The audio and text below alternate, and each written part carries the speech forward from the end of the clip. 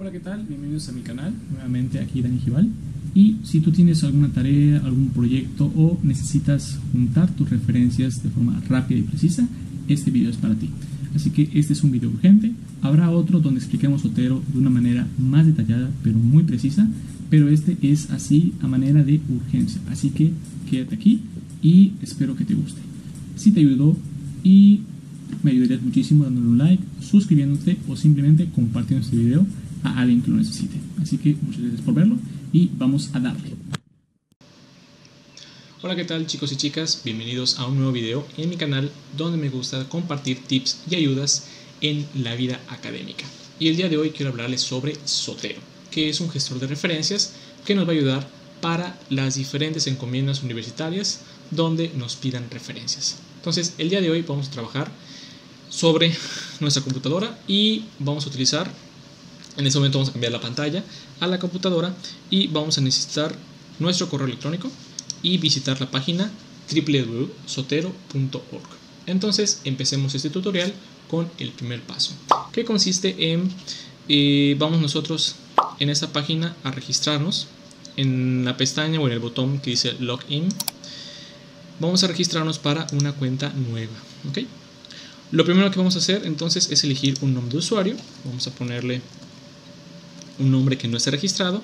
Acá vemos que Daniel Gómez 89 está libre.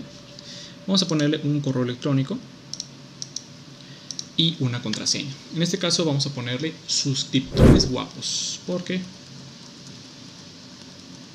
puro suscriptor chido está en este canal y pues simplemente le decimos que no soy un robot. En este caso le vamos a dar registrar y y listo, ya está. Entonces, en este caso, dicen que ya nos han, enviado, nos han enviado un correo electrónico para confirmar nuestra cuenta. Entonces, en este caso, vamos a nuestro correo electrónico y vemos que sí, efectivamente, aquí está el correo con el cual vamos a activar nuestra cuenta. Entonces, simplemente vamos a cerrar esta pestaña. En esta otra la abrimos. Y una vez registrados, eh, ya está. Simplemente le vamos a dar y bueno incluso ya está iniciada nuestra sesión en esta en esta cuenta y vamos nosotros pues ya empezar a trabajar ¿okay? el segundo paso es empezar a registrar nuestros nuestras referencias ¿ok? y vamos a ver esta es ya la biblioteca de Sotero aquí es donde vamos a trabajar principalmente y donde nos vamos a ahorrar mucho tiempo entonces tenemos dos maneras de insertar información número uno vamos a utilizar, vamos a trabajar pues de manera manual, aquí es donde tenemos que insertar la información pues una a una, o vamos a trabajar de la segunda manera, que es yo creo la más eficiente, que es agregar por identificador. La mayoría de los documentos que, son, que se utilizan en la academia para trabajos o para proyectos tienen ciertos identificadores. En el caso de los libros, nosotros tenemos algo que se llama el ISBN, ¿vale? Entonces, vamos a utilizar todos estos libros. Tenemos 1, 2, 3, 4, 5 libros y los vamos a registrar rápidamente en el sotero para que vean cómo es este proceso. Entonces simplemente en todos los libros, eh, todos los libros vamos a encontrar algo que se llama ISBN, que es el número o es un identificador universal. Prácticamente lo ponemos y vamos a encontrar información sobre él. Entonces en este caso tenemos el número, para que vean que no es trampa, no es trampa o chafa, lo vamos a hacer en vivo. Entonces, 978, 607, 448, 692, ¿ok? Y vamos a ver si Sotero logra identificar este libro. Y vamos a darle un tiempo, vamos a darle unos segundos. Recordar que todos los libros tienen este número identificador. En este caso estamos trabajando con el estudio científico de la conducta individual una introducción a la teoría de la psicología de el famosísimo Emilio Rives Iniesta. Entonces, vemos que en este caso, pues mm, por alguna razón no logró identificarlo, a lo mejor no, no, copié, no bien el ISBN, vamos a intentarlo una vez más. En el caso de que tengas esta información eh, en digital, igual funciona de la misma manera, simplemente ponemos los números y ya está. ¿vale? Entonces vamos a ver si lo reconoce. Y si no, vamos a trabajar con el siguiente libro. ¿okay? Vamos a ver si en este caso funciona o no funciona. Entonces, Listo, ahora sí. No sé, por alguna razón Sotero no quiso trabajar, no quiso trabajar bien. Ya tenemos registrado un libro. Eh, del lado derecho vamos a encontrar toda la información que necesitamos para nuestras referencias. Por ejemplo, tenemos el título del libro, el autor, el país, el editorial, el año, el número de páginas, entre otra información que es importante, ¿vale? Entonces, vamos a seguir trabajando, vamos a seguir capturando información. En este caso tenemos la conducta verbal del famosísimo y legendario Skinner.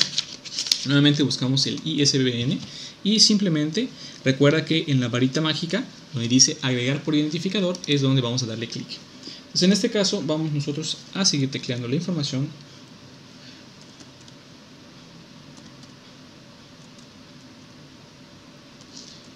y vamos a ver si Sotero logra reconocerlo. Segundo libro ya capturado. Vamos por el tercero, nada más como, ahora sí como para practicarle a esto. Nuevamente le damos clic al identificador y buscamos el número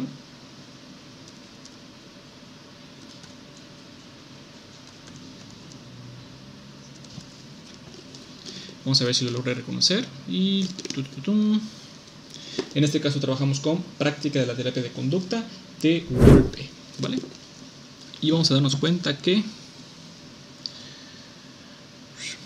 creo que está un poco malo el internet y por eso está dando, pero en, en, este caso no lo logro identificar. Vamos a ver después qué se hace si no logra identificar el número. Vamos por el tercer libro, por el cuarto libro, que es Terapia de aceptación y compromiso de Wilson y la famosísima Carmen Luciano Soriano. Nuevamente buscamos el ISBN. Obviamente en cada libro vamos a encontrar, en todos los libros hay una página que es la página legal. Ahí es donde vamos a encontrar nuestro ISBN. Esto puede ir cambiando de libro en libro, pero no hay ningún problema, no hay que desesperarnos. Entonces buscamos nuevamente 978, 84.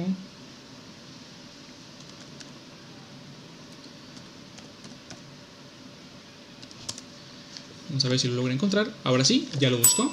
Y vamos por el último libro, que es mi favorito, que es Análisis Funcional de la Conducta de María Froxam. María Jesús Froxam. Entonces, un libro muy bonito, muy padre, muy chévere, que se publicó en pandemia.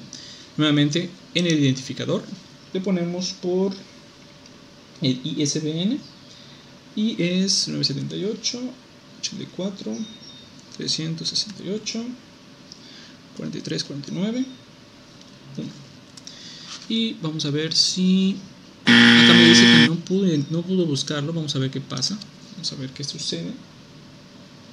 Intentarlo una vez más.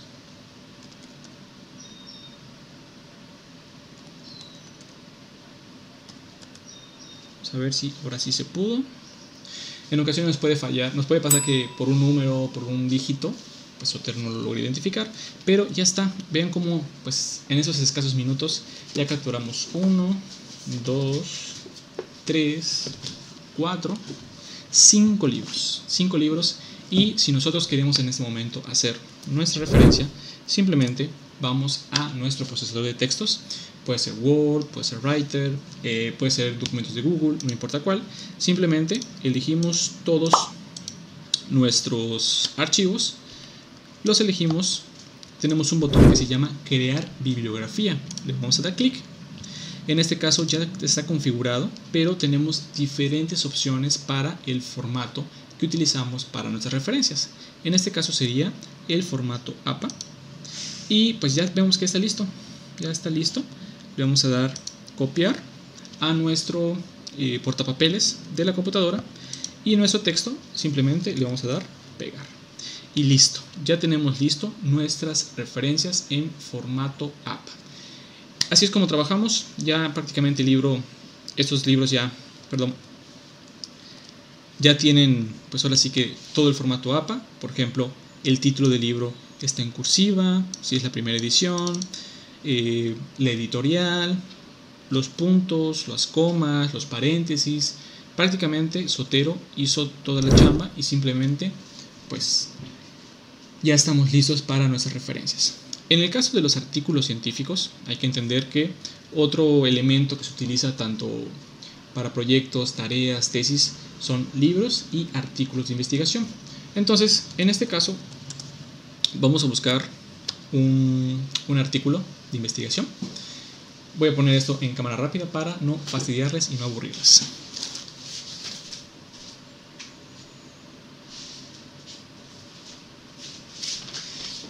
Listo, en este caso ya tenía el, artículo, el artículo listo. Esta es la revista de Cuadernos de Psicología del 2007.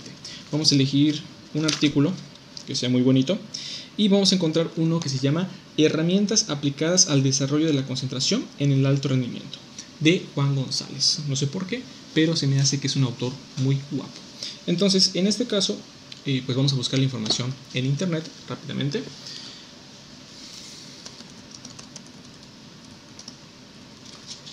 Perfecto. Bueno, pues ya encontramos la información de nuestro autor. Entonces, en este caso podemos trabajar de dos maneras con las revistas, científicas. El primer caso es cuando utilizamos el DOI. En este caso, vamos a buscar, tenemos a este autor, vamos a buscar un artículo lo más, lo más reciente posible y eh, vamos a buscar si nos da el famoso DOI. Entonces, en este caso, cuando estamos trabajando con artículos científicos, tenemos un número que se llama DOI.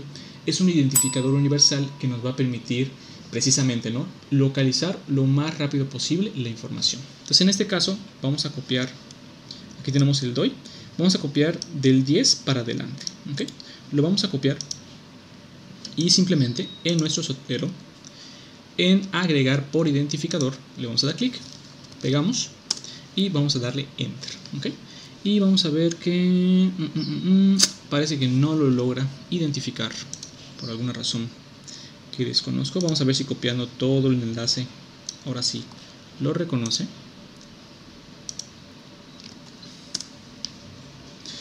Cosas que pasan por alguna razón no logra identificar o no logra captar la información del autor pero vamos a ver si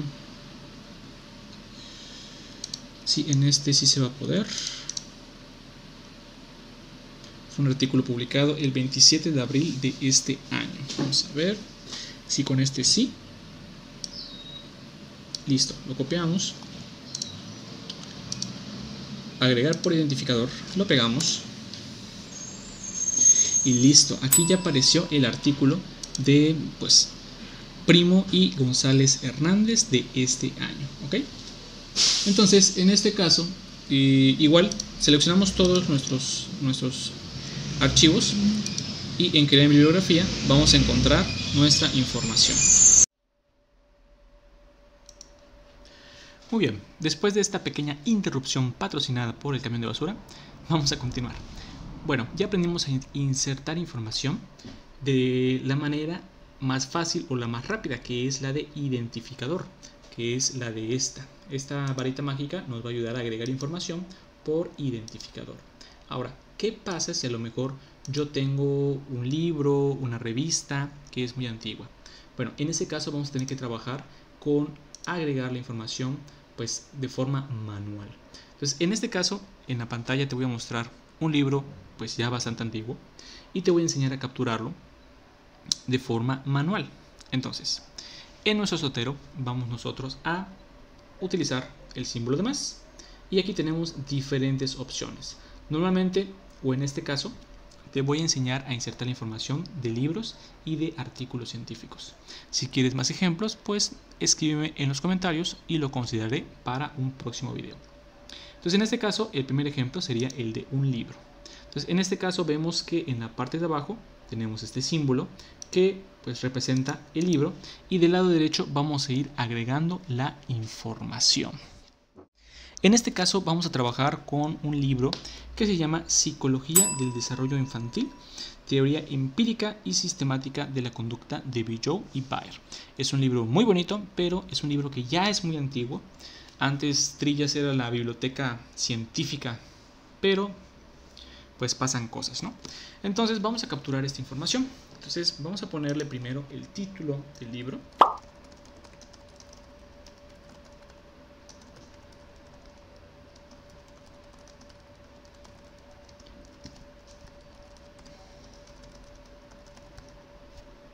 Ok, ponemos, aquí ponemos primero el título. Ok, como pueden ver tengo ciertos errores, simplemente que corregirlos. No sé por qué. Infantil. Los autores. Vamos a poner primero los apellidos.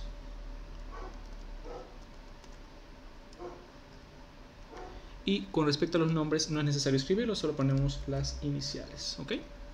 Ponemos otro autor. Esta este símbolo de más es para agregar un autor.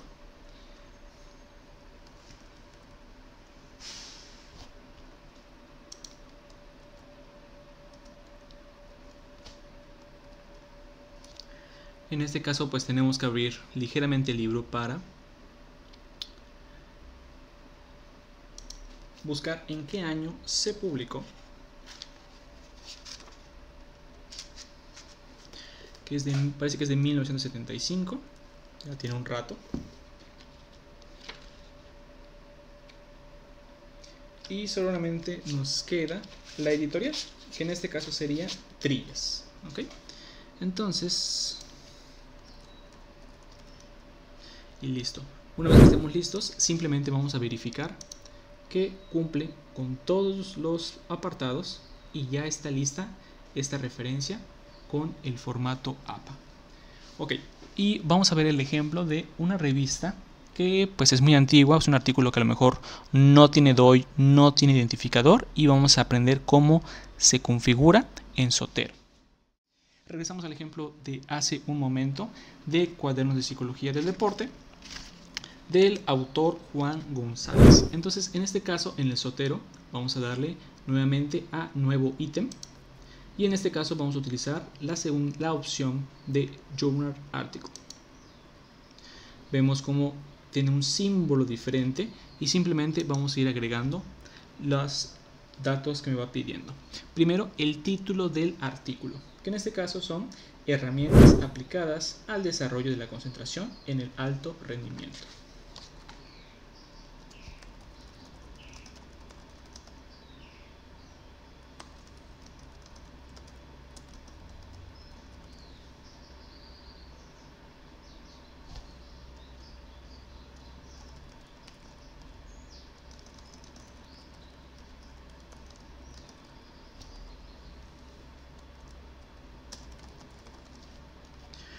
Una vez escrito el nombre, nos queda el apellido del autor, en este caso es Sales.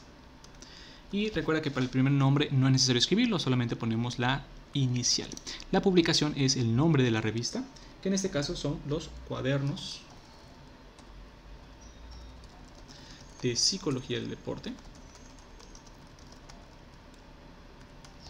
El volumen es el 7, el ISU un número es el número 1.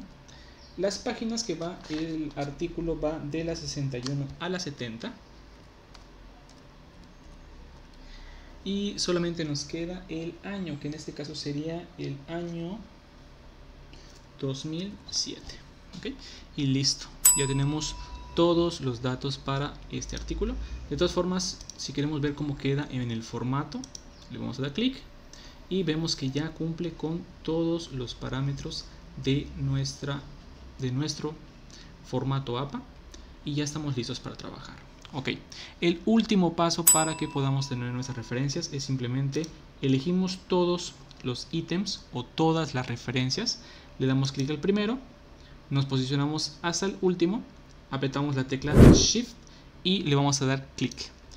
Una vez elegidos todos, simplemente le vamos a dar clic a crear bibliografía, le damos clic y automáticamente ya tenemos todos los datos que necesitamos.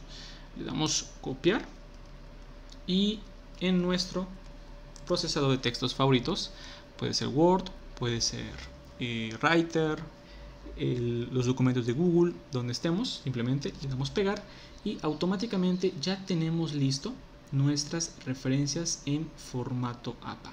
Ya tenemos los títulos en cursiva, según sea el caso, eh, tenemos las comas, tenemos los puntos, tenemos paréntesis, prácticamente tenemos todo listo para nuestro proyecto. Y bueno chicos, espero que este video les sirva.